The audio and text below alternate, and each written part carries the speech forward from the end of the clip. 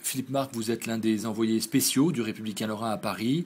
Vous avez vécu la soirée du deuxième tour de cette élection présidentielle et la victoire de François Hollande au siège de l'UMP. Alors au siège de la France Forte, on a, on a assisté à une, à une soirée qui a été de très très courte durée.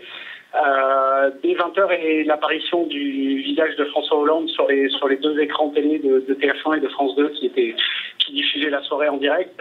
Euh, on, a, on a assisté à beaucoup de, de scènes de déception, parfois de rage. Euh, beaucoup de larmes de gens qui se cachaient dans leur, dans leur drapeau bleu, blanc, rouge euh, pour, pour réprimer des, des sanglots.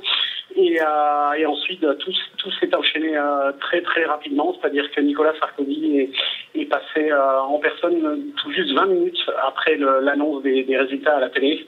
Il a fait un, un, discours qui a à nouveau fait, fait chavirer la, la salle qui, qui, est reparti en, en, sanglots. Et à 20h35, euh, il a tourné les talons et la salle s'est vidée instantanément. Euh, sur un dernier slogan, euh, un brin trivial, mais qui veut dire ce qu'il est, c'est-à-dire euh, on est dans la merde, on est dans la merde. Voilà comment la, la salle s'est vidée au QG de la France Forte ce soir. Nicolas Sarkozy a-t-il, selon vous, Philippe Marc, prononcé ce soir son dernier discours politique? Pour les euh, pour les militants et les sympathisants qui étaient euh, présents ce soir, euh, la chose était claire.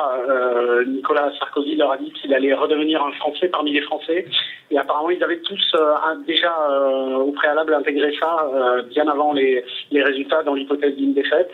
ce qui fait que pour eux la page s'est tournée ce soir et, beaucoup sont sortis persuadés qu'ils assistaient au dernier discours politique de Nicolas Sarkozy. Avez-vous pu également recueillir d'autres réactions de leaders de la droite?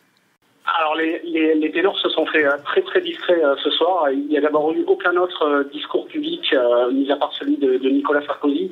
C'est-à-dire qu'entre les deux tours, on avait assisté au discours de Fillon, de, enfin le, le, soir du premier tour, on avait assisté au discours de Fillon, de Copé, d'énormément de, de, poids lourds du, du, gouvernement ou de la majorité. Et là, ce soir, rien du tout à part Nicolas Sarkozy. les seuls ténors que j'ai pu à approcher, c'était d'abord dans un premier temps David Douillet, le, le ministre des Sports, qui a crié à l'injustice en disant que les Français n'avaient pas compris que Nicolas Sarkozy avait sauvé le, pays. Et puis, euh, ben, par la suite, en fin de soirée, Nadine Morano est passée en, en salle de presse, euh, imputant la défaite à la crise, en disant que ça s'était joué euh, sur très très peu de choses et que sans la crise, Nicolas Sarkozy l'aurait emporté. Sam.